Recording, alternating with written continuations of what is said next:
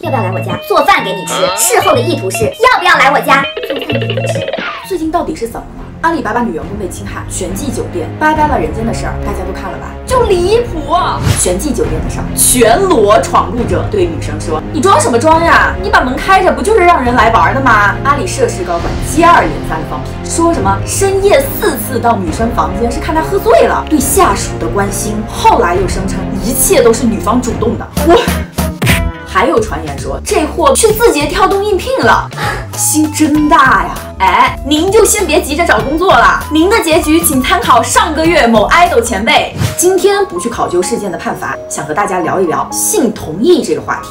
其实什么是性同意和每一个人都息息相关，甚至在夫妻和情侣间也需要有这个概念。当遇到没有清晰性同意概念的异性，你该如何表达？你不想？不给对方半推半就的机会。全季酒店的被害者房间未锁门，男子全裸闯入，评论真的是让我大跌眼镜啊！这博主晚上睡觉不锁门吗？门关好了会出这种事儿吗？你应该对自己的长相有信心，正常男人都下不去手。咱先不说全季酒店的房门是不是不好一次性关上，就算不关门，这也不是犯罪的理由啊！拜拜了人间早期视频流传出来，喝了人家的奶茶就表示性同意，也引起了轩然大波。虽然后来官方也否认，但这种案件并不少见。有个很有名的，你们可能听过，一九九二年威尔森案。威尔森在被性侵前要求对方戴上安全套，结果是法官认为你让男生戴上安全套等于你性同意。What？不，就是不。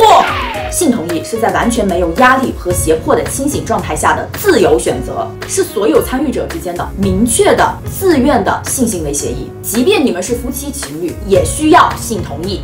不少国家对于婚内强奸是否构成犯罪有着明确的法律规定。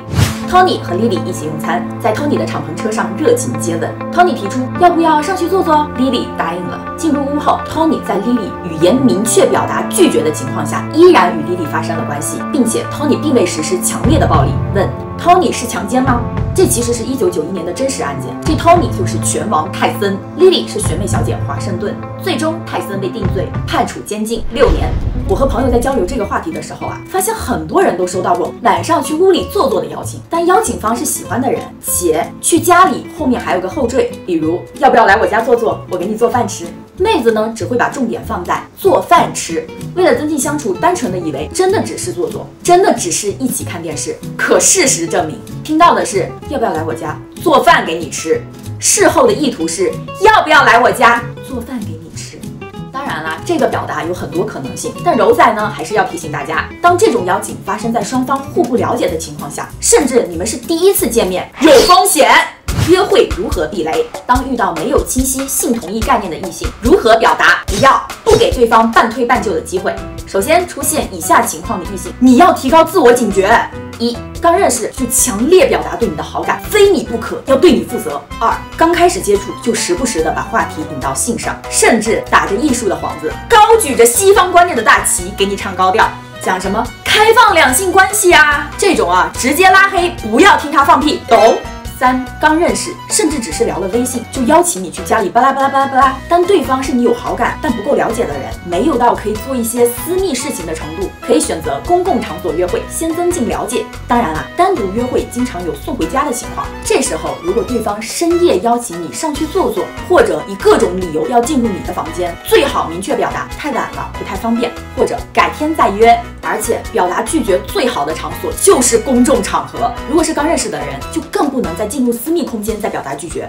我们得承认性别上天生的差异，但是我觉得自我保护的一个通用公式是：当别人给予你的大于你能给予对方的，你就要反思这段关系中你能否保持自我。关于性同意，男生女生想了解的会有差异，也正常。有研究表明啊，在两性关系中，女生会为了双方的愉悦做一些妥协和退让。女孩子最好对当下的关系可以有什么进展有一个清楚的判断，以及明确的做出表达。也有男生困惑来问我啊，如果喜欢的女生害羞不善表达，怎么确认她是同意还是不同意呢？我认为啊，如果感觉和气氛到了，男生温柔的问可以吗？很多女孩子会觉得这是破坏气氛，反而觉得温柔有教养。